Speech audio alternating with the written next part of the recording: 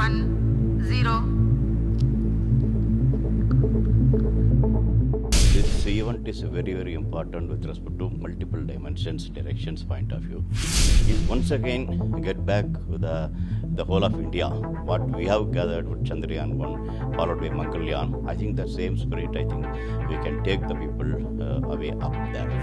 Real seeding came from Chandrayaan 1. So having done that, when the world, world is going back to the moon, India cannot lag behind. Multiple reasons, this mission is very, very important. This event is very, very important with respect to multiple dimensions, directions point of view. Uh, one is, uh, yes, we have shown to the world a historical mission Chandrayaan 1.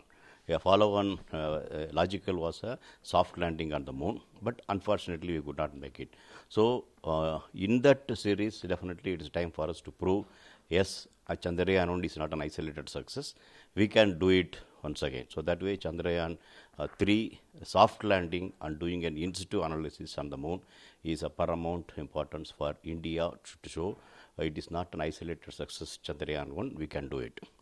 Point two is once again get back the the whole of India.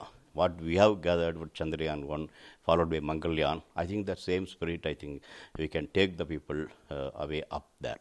Beyond all these things, internationally look at here, the whole world is uh, looking as back to the moon is a way the big mission. For that, real seeding came from Chandrayaan 1. So, having done that, when the world, world is going back to the moon, India cannot lag behind. So, to catch up that, uh, definitely this mission is called for.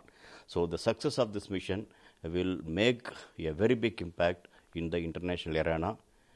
In nationally, India playing a meaningful role, and uh, I think that way I see is a multi multiple reasons this mission is a very very important.